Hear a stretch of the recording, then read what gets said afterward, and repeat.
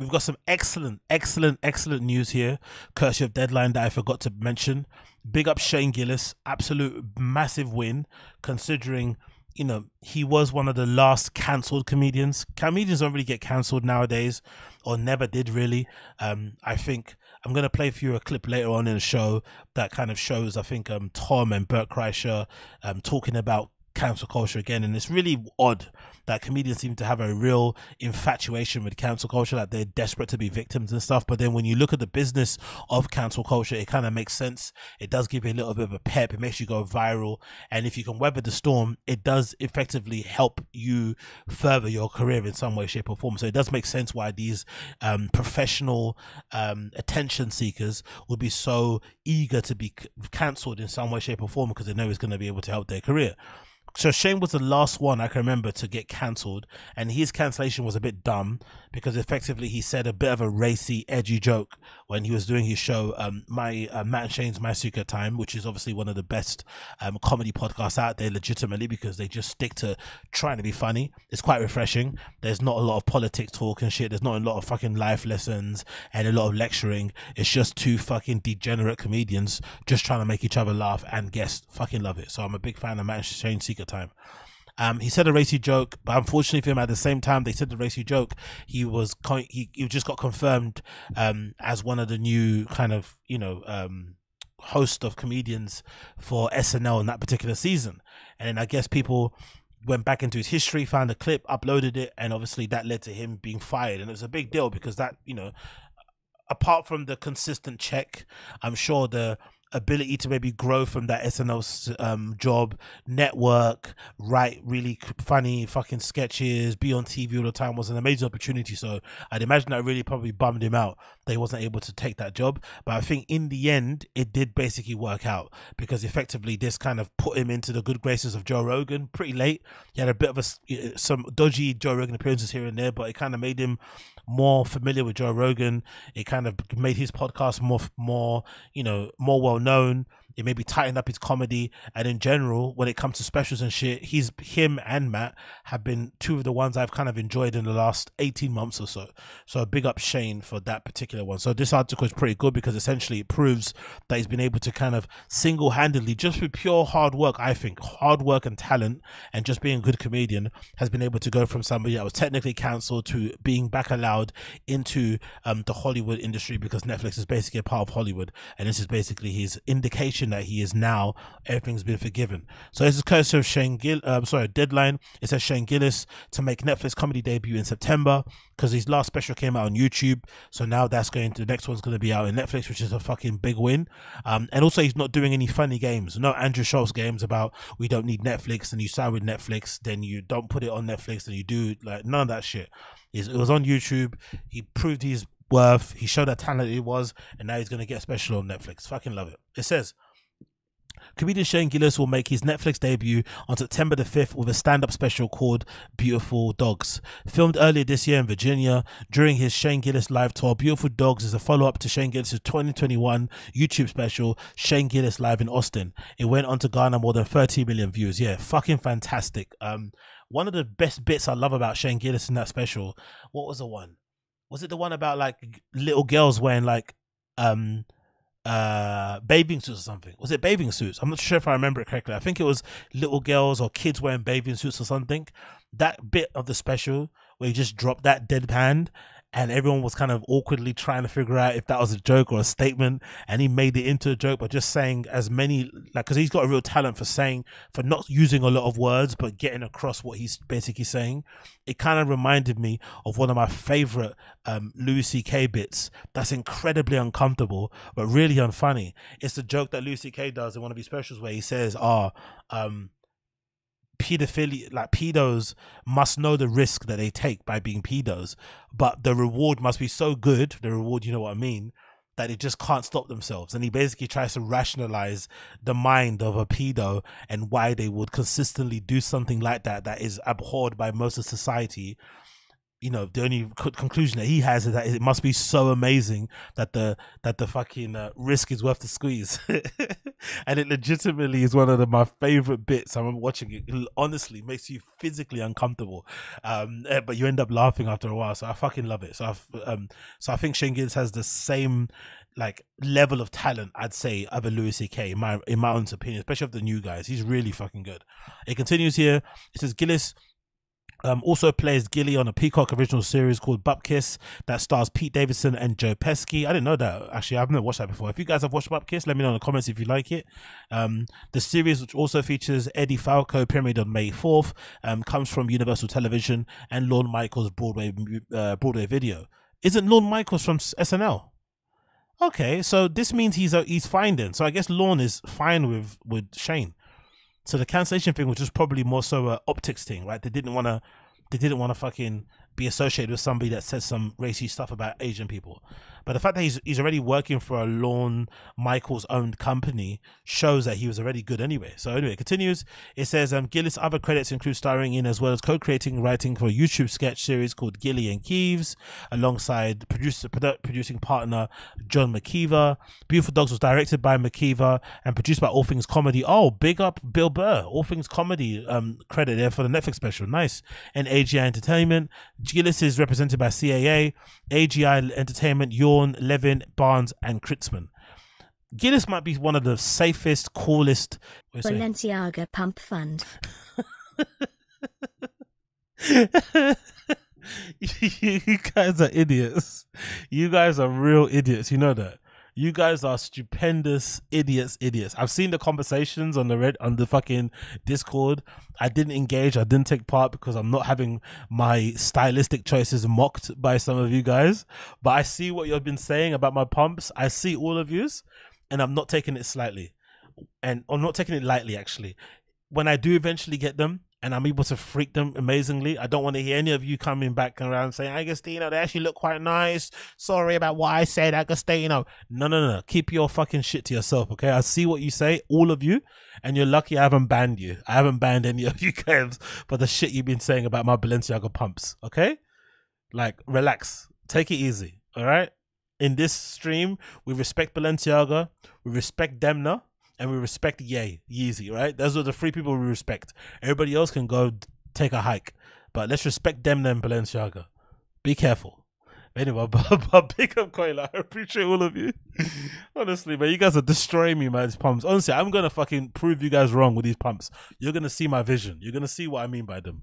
But yeah, what I was gonna say, um, I think Gillis, Saint Gillis is probably the nicest, most level-headed normal CAA represented person I can think of. Because when I think of CAA, I think of like Brendan and Bryan Callen, right?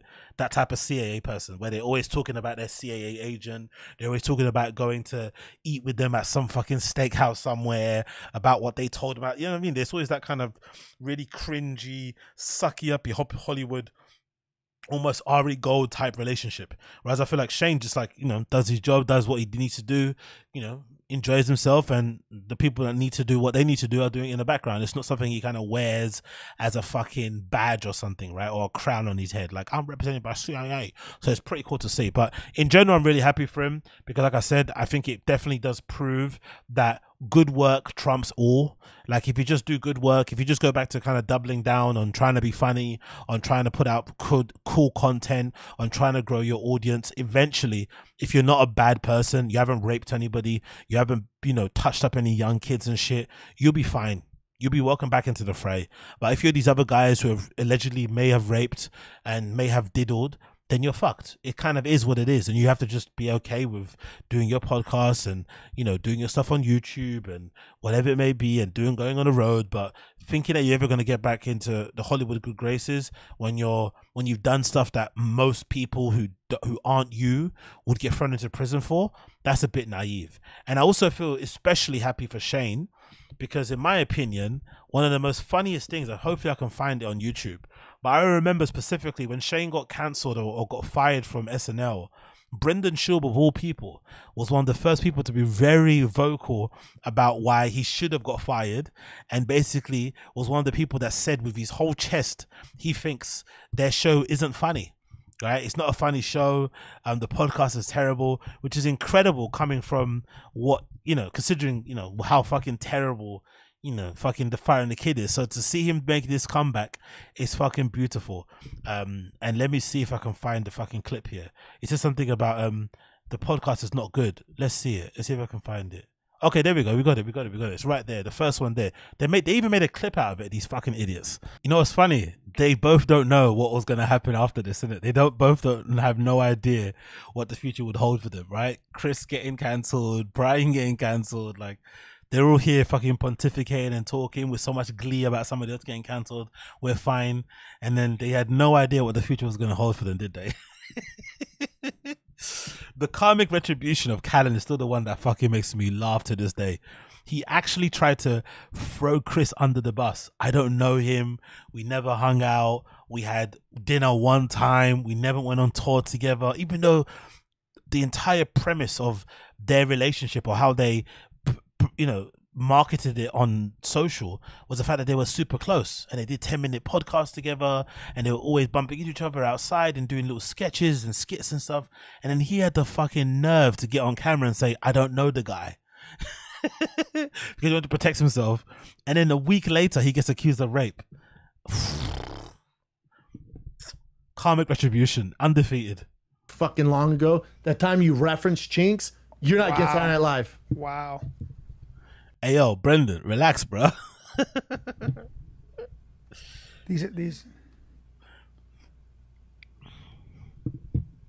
Let's see. Jimmy O Yang, because he's a he's an Asian comic, so I, I don't know. Jimmy's a great comic. I'm on the same bill. Ah, Jimmy O Yang is the guy that hates Tim Dillon, isn't it, I think he hates Tim Dillon. He hates most of those LA types. Jobo had nightmare last night of six feet six inches long haired Rogan. big up Jumbo 13, appreciate. Yeah. Big up, yeah. I think I say this, I, I, I've said this a lot, but I honestly think it's true. Um, the universe, God, Buddha, Allah, whoever you believe in, did all of us a favor by making Joe five foot two or whatever he is. Because if you think he's this insufferable, this obnoxious, just imagine if he was a former Marine, Special Forces, ex CIA agent, six foot four, like, do you know what I mean? With long flowing hair. Oh, he would not shut the fuck up. You know what I mean? He would be pushing in our faces. So the fact that he doesn't, you know, look like Aubrey Marcus or something is a good thing. You know what I mean? Same thing goes for Cam Hanes. If Cam Hanes was taller and he looked like if if, if Cam Hanes looked like that guy that that that wrote a book that's made into an Amazon series, I forgot his name. Um, he's a fucking author. He makes his Amazon series that was actually quite good. Um, fuck, I forgot the name of it, but if Cam Hanes looked the way he thinks he looks in his head, he'd be way more insufferable. Also, people don't like Cam Hanes, but if Cam Hanes was taller and didn't look as, you know, because Cam Hanes basically looks like an outdoor version of Bryan Callen, I feel like. Right? Cam Hanes is basically Bryan Callen if he grew up in fucking Texas or some shit or Idaho. You know what I mean? But if he was a bit more taller looking, then he'd be. Whew. All the time. He's a great comic. He put as a comedian, I usually side with comedians on sensitive subjects, but this is just plain racist. It's truly disgusting. Stand up against this is just as important as supporting our Asian brothers and sisters. See, this I'm not, man has to go. I'm not Chinese. I will say this. I've said this. Before. So yeah, that's another point. point thing. We're not Chinese. By the way, I'm I've said Chinese. this before. I've yeah, said this many right. times. Chinese people in this country have dealt with a fuckload of racism and a fuckload of violence and a, uh, like a way more than people know. They just have. They don't. They just don't voice it. But th- th- there is no question that that Chi- people of Chinese descent, ethnic Chinese all over the world, have done. Inc- Bryan Callen speaking up for the ethnic Chinese. Stop Asian hate. This guy, when he starts bloviating about these points, you just want to fucking throw a fucking brick through his face, in it. Like, shut the fuck up, man. Honestly. This is like classic rich boy talk. Whenever you go to a house party, there's always one of these kind of rich kids around, like bloviating and pontificating about the plight of others in an effort to make themselves look like a good person. Bruh, just stop raping. You don't need to be getting on your soapbox talking about saving people like this. Just stop raping. Stop raping and you'll be fine. no one gives a fuck. Incredibly well in every culture they immerse themselves in because their culture, frugality, and all that, and, and, and hard work and all that but they have dealt with a fuckload not only of prejudice but but but like literal massacres. Let me ask you, Bryan. Let me. You so I understand Shane Gillis is racist? No, but no, that's my point. I understand people's sensitivity. But but it, that's the thing. That's the thing I don't understand about these guys. No one actually cares if Shane Gillis is not racist or not. no, like no one, you know, these guys think that we're they're in. These guys think that they're deserving of like, I don't know, of like further investigation that way. People just hear what you say, the stupid things you said over the years, and sometimes it can come back to haunt you.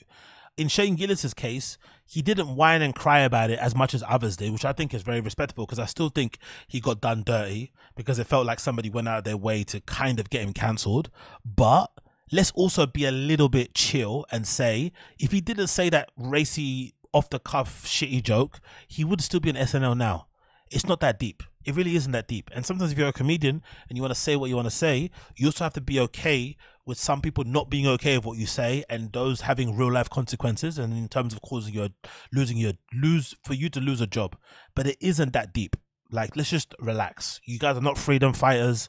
Do you know what I mean? You're not fucking you know, you're not knocking down the Berlin Wall with your fucking talk. You're not freeing fucking slaves. You're just telling shit jokes on stage. Just relax. Sometimes you hit one. Sometimes you miss one. Sometimes one's cost you a gig.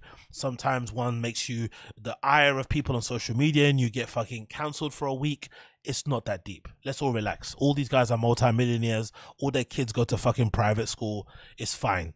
Like, chill at, uh, what Shane Gillis here was doing was referencing how other people were talking about that in a very offhanded comment. And to take it away, I got a problem. Even when Daniel Dae Kim says this, he's not saying it. Yeah, exactly. Look, look at the comments here. It's like I think I got some people that get it in the fucking chat here. Big up, um, uh young old vibes. Callen should just move to Spain. Those are his people exactly.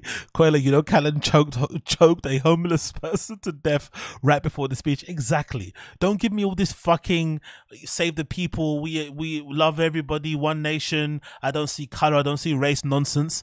Just stop being a piece of shit to women and whatever it may be and fucking Bobby Lee and you're fine you know what I mean? You don't have to fucking like um my guy, big up fashion road man, um the sig this virtual signal beam all the way to Mars. It's just too much. It's just too much. What's that word called? Uh oh, I forgot the word. There's a there's a word for it.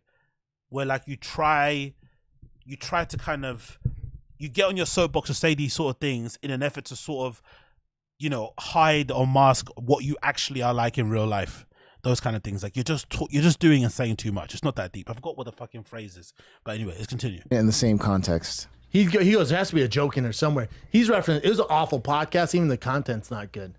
Yeah. He sh- fire him for having a bad, bad podcast, not for being racist. Scroll. Excuse me. Rewind that again. Imagine Brendan saying you have a bad podcast. Can you imagine how angry you'd be? Let's go back one more time. Let's hear Brendan say they have a bad podcast even when Daniel Dae Kim says this, he's not saying it in the same context. He he goes, there has to be a joke in there somewhere. He's referencing it was an awful podcast. Even the content's not good.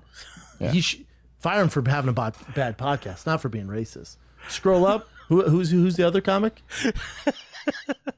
he said that so offhand. That is so rude and petty. This is the thing I've said from the beginning, right? One of the things I think that's really interesting about the whole anti Brendan Schaub shit that exists out there and this whole little sub community scene of people that fucking rip into him and the fucking Reddit. If you think about it, right? If you think about it really, Brendan is actually just getting back the energy he puts out.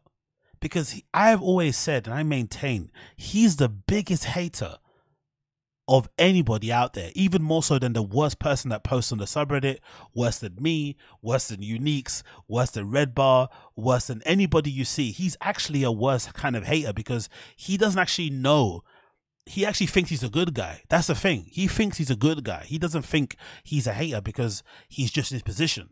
So he thinks he's just talking about the industry stuff. But when you actually listen to him, when you actually hear him speak, he's usually jealous of his friends he usually lies about his fucking selling out of his tours. He's usually talking down on people, fighters, other comedians, shows he's fucking watch. He's really, at his core, a consummate hater. And the fact that he's receiving all this energy back is because he puts that energy out there. That's the real funny part about it. He complains and cries about it, but this guy is the biggest hater out there if you think about it. Because he, let's let's all just keep this in mind he's only saying this right about Shane and Matt's podcast. Why is he saying this? Keep this in mind. Not because he thinks the show's actually shit. It's not because of that.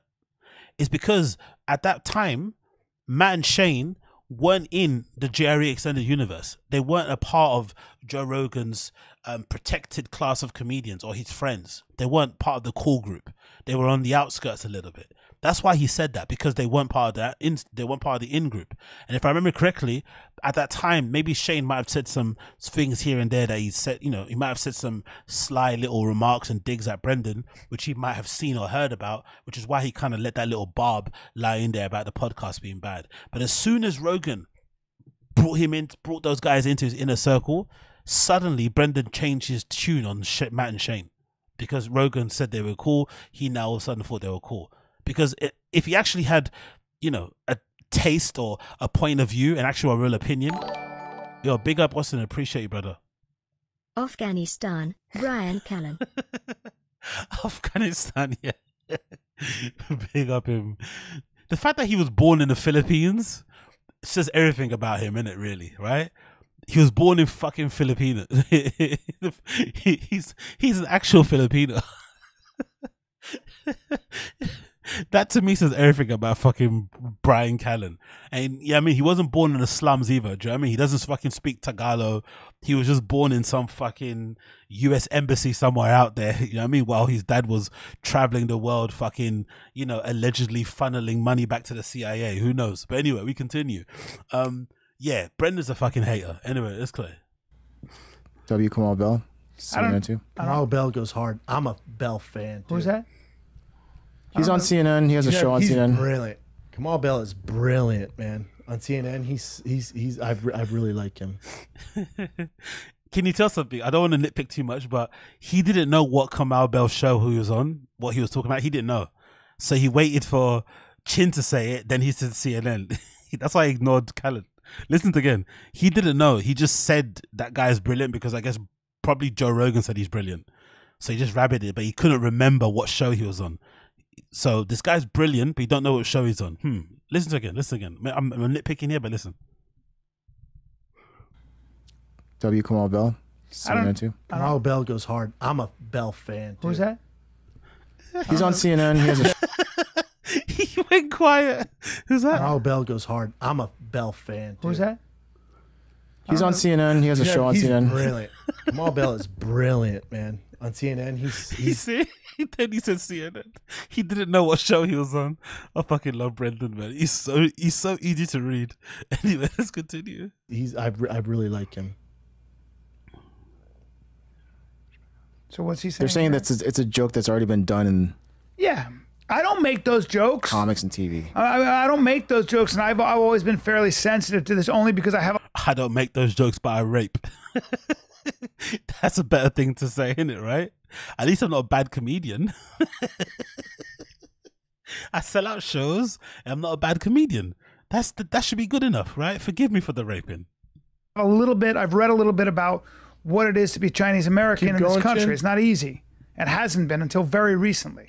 Remember when in, in, in you ever see Crazy Rich Asians? Mm-hmm. When when those when they came into the No way is he talking about the plight of Asian people and using crazy rich Asians as an example.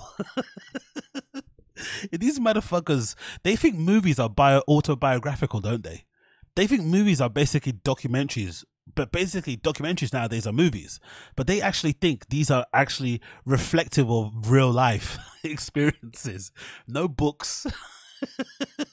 no nothing, just vibes. I watched Crazy Rich Asians.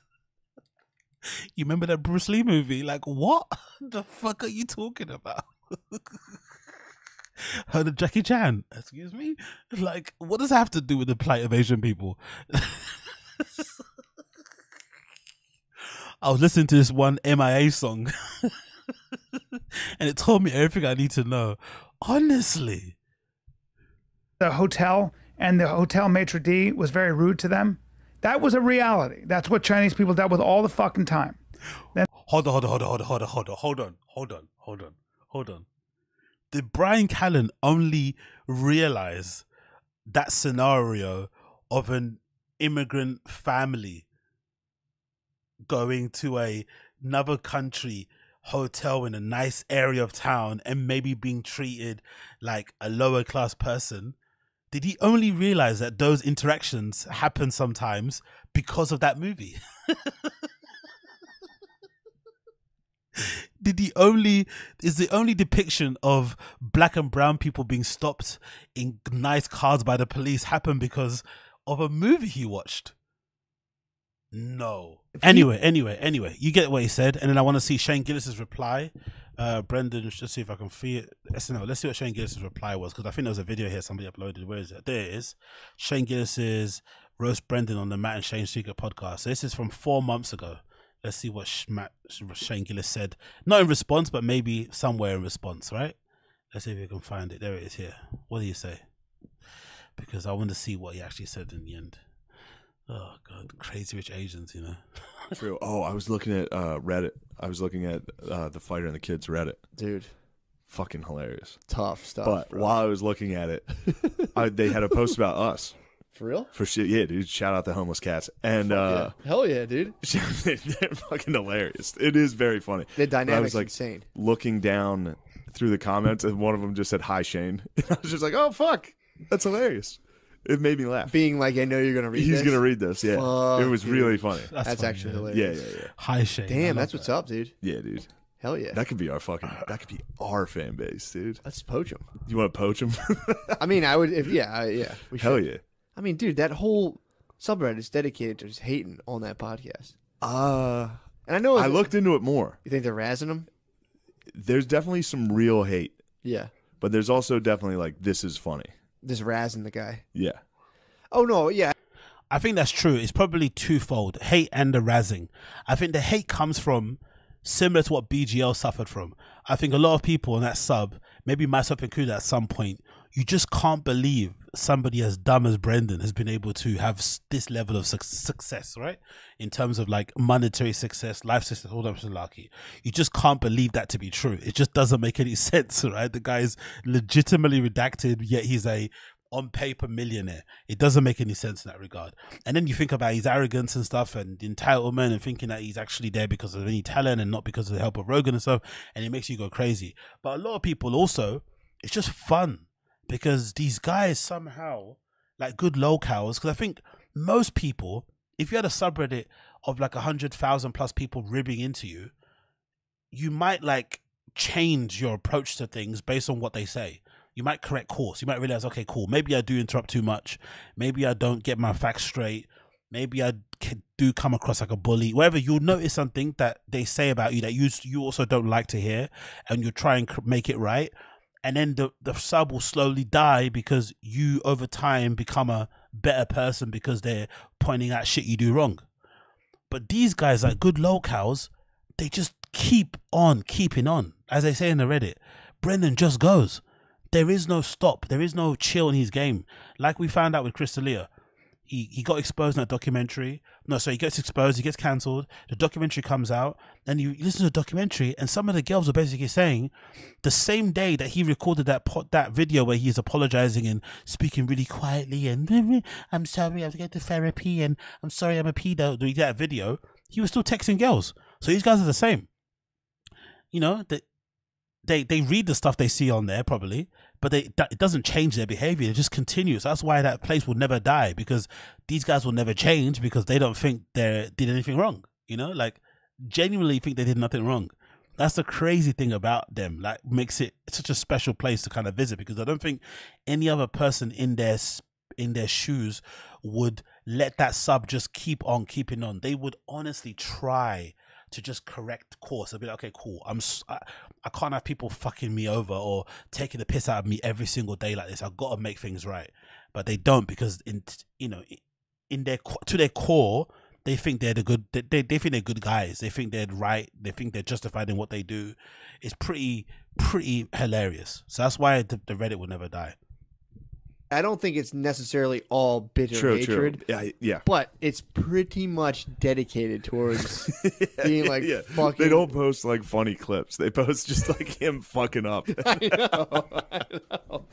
yeah. Which that's- is that's what I was talking about last week. How it's funny now that there's that's a whole thing in of itself. Like we're gonna meet every day and just completely fucking try to tear this dude down.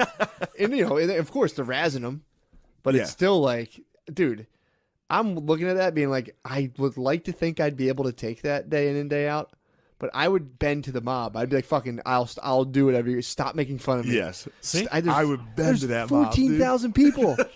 That's the thing, though. Regular, decent people, well-adjusted people, would somehow along the way think, "Hold on, if if that that many people keep saying shit about me, surely there's some some some semblance of a reason why. There must be some, you know, there must be some truth to what they're saying." And they'll investigate and try and correct course. But those guys are just the personification of locals and really are like consummate narcissists because they honestly don't think they do anything to warrant whatever attention they get on that Reddit or just in general. They don't get it at all. It just doesn't make any sense. I'm a good guy. I'm a beast of a guy, beast of a dad, great guy, never met him, and that's it. It's fucking hilarious. There's four. If there was, They're they're homeless cats, dude. it's an entire city dedicated. called homeless cats, I know. baby. 'cause- Yeah, because they made fun of. Yeah, I, and I, they're beasts, dude. I- I'm all in. on them. I watched that whole incel documentary about fucking. uh oh, the guy that made that a documentary about. Yeah, so I know I know exactly Job. what's going on in that subreddit. So I watched that documentary and then I went to the subreddit. I'm like, whoa, dude, there's like a whole space where you can just act this a shit. whole subculture of these people. You just there's like a small fucking Yeah. city worth Fourteen thousand. Yeah. a small city's worth of people, like a rural town's worth of people who are dedicated towards like watching your every move and like, idiot, Like, idiot, pussy, moron. pussy, bitch. But I'm Yeah. tell- the, the sin they're punishing for him for is taking that like kind of elitist attitude towards his fan base. He was kind of like, "You guys are fucking losers. I'm fucking killing it." They were like, "Dude, we'll just we'll hive mind make fun of you." it's like, dude, I would instantly cave. Yeah. I'm excited. I think the first indication of it, of that, because I think a lot of it as well, kind my current theory as well, running from it, my current running theory of the intensity of the hate that they get, I think has to do with sometimes fans feeling like you, che- you kind of, you cheat, like you trick them. Because I think like the reason why the Fighter and the Kid was so successful in the beginning because they actually did have a lot of legit fans like myself. Like I watched, I, I think I might even paid for TFATK. I'm hon- honestly afraid to admit this, but I think I might have even paid for TFATK 3D or whatever it was called, live or whatever that fucking DVD thing. I think I may have paid for it. That was how much of a fan I was. So I think some people, when you start off being fans of somebody, and then you feel like you got tricked because they turn into a cunt, you maybe become an intense hater because you don't feel you don't like the feeling of being duped.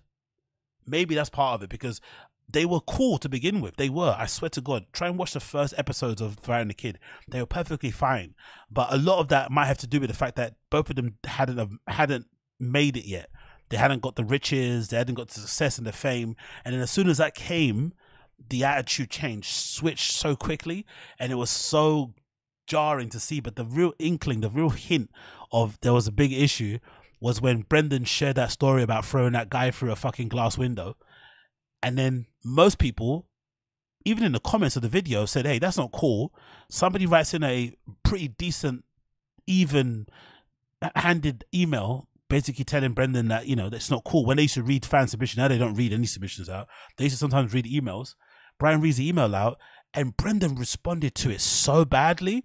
It made him look like, you know, he basically showed how thin skinned he was. Everyone was like, oh, you're an actual bully then. You know what I mean? This is what you're, you're not actually seeing it from the other people's point of view of like how this story comes across and doesn't make you look well or look good at all. And now you're responding in this really arrogant, shutting down, bullying, kind of dismissive way. I think that was the first sort of like domino. And then it all, it kind of went from then on and it kind of never basically recovered then because, you know, then the whole fucking homeless cats, uh, PF Chang shit fucking went on as well. So it's a bit of a shame. But anyway, let's not watch the whole thing. You can check out yourself. Um, Matt and Shane Secret Podcast. The clip is there. That's what it's called. And we'll move on to the next topics. But yeah,